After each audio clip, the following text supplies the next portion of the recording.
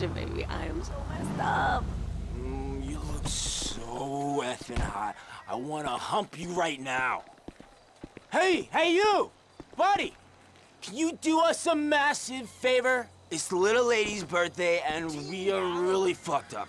Can you drive us back to our motel? Our car's right there.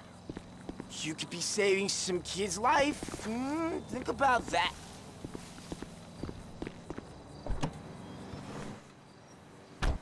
Seriously, it's only down the road.